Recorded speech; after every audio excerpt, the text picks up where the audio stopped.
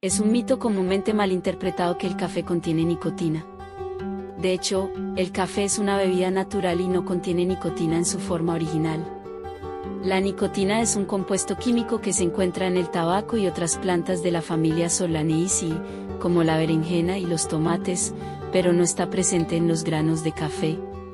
La confusión puede surgir debido a ciertos compuestos químicos que comparten similitudes estructurales con la nicotina, pero que son distintos en sus efectos y propiedades.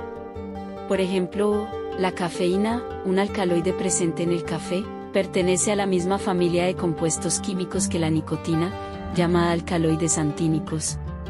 Sin embargo, es crucial destacar que estas similitudes estructurales no implican la presencia de nicotina en el café, la cafeína es un estimulante del sistema nervioso central que actúa bloqueando los receptores de adenosina en el cerebro, lo que resulta en una sensación de alerta y energía.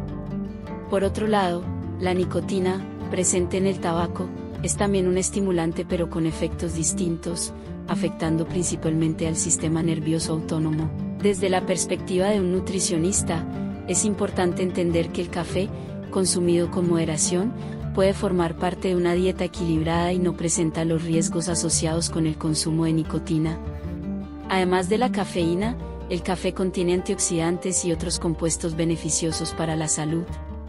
Sin embargo, es crucial tener en cuenta que el café puede afectar a las personas de manera diferente, y algunas personas pueden experimentar efectos secundarios como insomnio, nerviosismo o malestar gastrointestinal.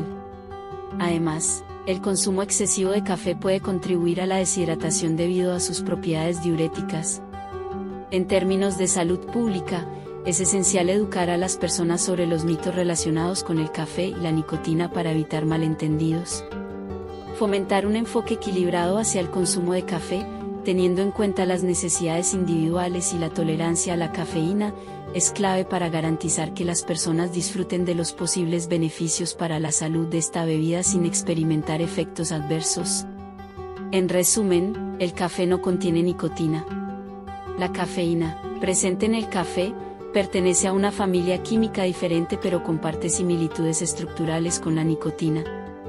Como nutricionista, es importante abordar los mitos relacionados con los alimentos y bebidas para brindar información precisa y fomentar hábitos alimenticios saludables.